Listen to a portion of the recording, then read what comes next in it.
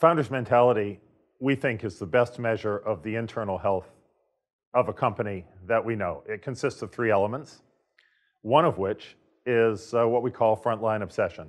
You know, in the early days of the great founders, they were the ones to turn the lights off at night.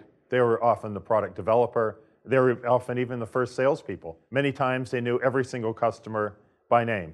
Yet with success comes growth. With growth comes complexity. With complexity comes layers in an organization. With layers come staff departments. With staff departments, decisions become made often by people who have never made a product, never served a customer, and may be several layers away from the front line.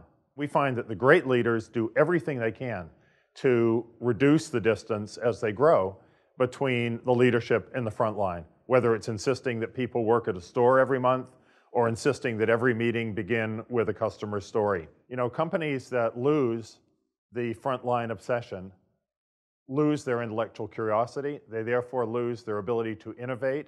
They very often don't celebrate their frontline employees enough.